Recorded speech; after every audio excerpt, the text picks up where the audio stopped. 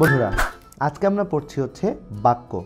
বাক্যের মধ্যে আজকে আমরা যে বিষয়গুলো নিয়ে কথা বলব, সেটা হচ্ছে বাক্যে পদ বসানোর নিয়ম বা কীভাবে বিন্যাস করতে হয়।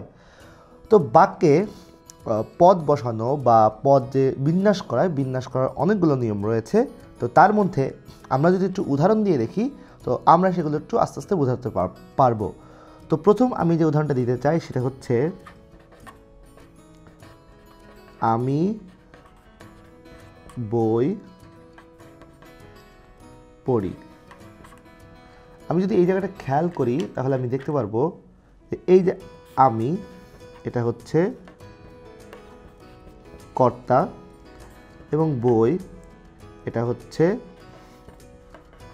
কর্ম এবং পড়ি, এটা হচ্ছে ক্রিয়া। তাহলে এই বাক্য থেকে আমি যে জিনিসটা পাই, সেটা হচ্ছে যে প্রথমে কি বসল? কর্তা, তারপর হচ্ছে কর্ম অ্যান্ড দেন তারপর হচ্ছে ক্রিয়া। এটা হচ্ছে বাক্যে পদ পদ বসানোর ক্ষেত্রে সবচেয়ে প্রচলিত পদবিন্যাস। তো এটা হচ্ছে একটা নিয়ম। কিন্তু এর ছাড়াও কিন্তু আরও অনেকগুলো পদবিন্যাসের নিয়ম রয়েছে। তো চলো আমরা সেই পদবিন্যাসের নিয়মগুলো আমরা তোমাদের একটু দেখানোর চেষ্টা করব। তো আমরা দেখতে পাচ্ছি যে রোহিত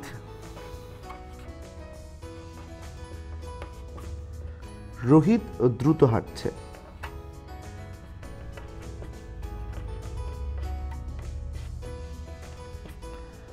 খেয়াল করে দেখো, এই যে রোহিত দ্রুত হাঁটছে, এটার মধ্যে প্রথমেই যে কে আছে, দেখো তো বন্ধুরা প্রথমে কিন্তু এখানে ক্রিয়া আছে। ক্রিয়া।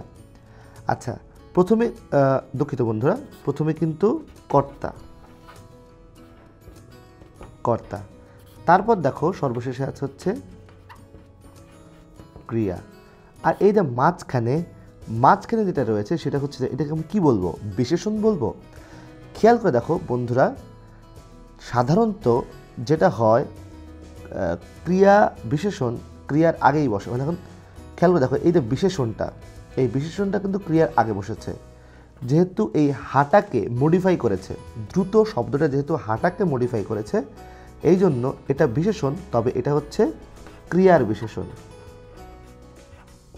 ক্রিয়ার বিশেষণ। তাহলে আমরা বুঝতে পারলাম, প্রথমে কর্তা, তারপর হচ্ছে ক্রিয়ার বিশেষণ, তারপর হচ্ছে ক্রিয়া। তার মানে এই যে আমরা এখান থেকে যে নিয়মটা নিতে পারি, সেই নিয়মটা হচ্ছে ক্রিয়ার বিশেষণ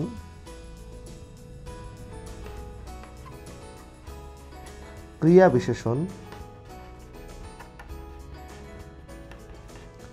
ক্রিয়ার আগে বসে।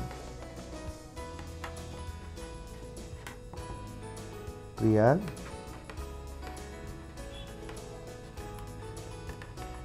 আগে বসে। তাহলে এই যে দেখো, ক্রিয়া এবং তার আগে হচ্ছে ক্রিয়া বিশেষণ। তো এটা হচ্ছে আমাদের রুলস। ক্রিয়া বিশেষণ সর্বদাই ক্রিয়ার আগে বসে। তো বন্ধুরা, আশা করি তোমাদের কাছে এই রুলসটা খুব ভালো করে বুঝতে পেরেছ। আমরা পরবর্তী ভিডিওতে আর অন্য কোনো রুলস নিয়ে তোমাদের সামনে আসব। আজকে এ পর্যন্তই, দেখা হবে পরবর্তী ভিডিওতে।